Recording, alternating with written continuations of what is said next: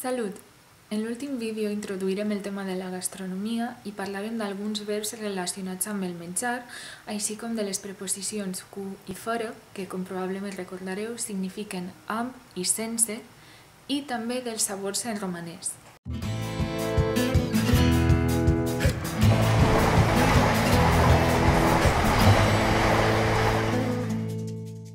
Avui continuarem parlant d'aquest tema i començarem a fer-ho aprenent una nova expressió. Si alguna vegada seieu a dinar amb una persona romanesa, segurament voldreu saber dir bon profit, veritat? Doncs bé, l'equivalent en romanès és pofta buna.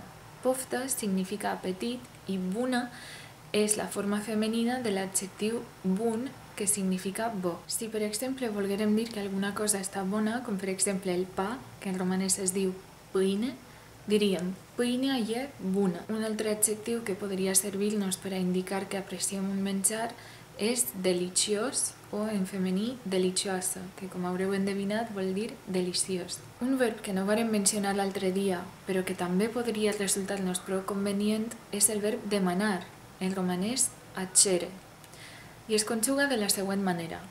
Eu cer, tu ceri, el ja cere, noi cerem, voi cereți, ei, ele cer. L'última vegada també parlàvem de les quantitats i de com podíem demanar més o menys d'alguna cosa utilitzant l'adverbi mai, és a dir, mai molt o mai potsin.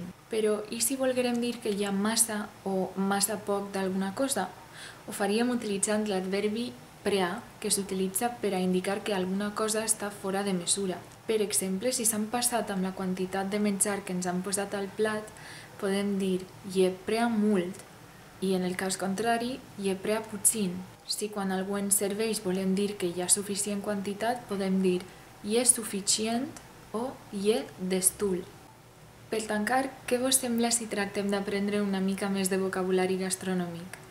Per exemple, ens interessarà conèixer paraules com menú, ingredient o receta, que volen dir menú, ingredient i recepta.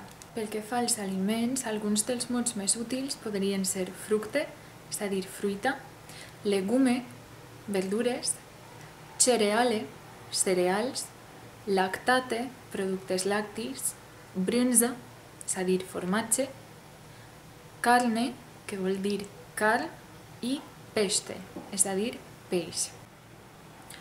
Una cosa que crec que vos ajudarà a assimilar tot aquest vocabulari és tractar de fer frases utilitzant alguns dels verbs que varem aprendre la setmana passada, com per exemple el verb voler.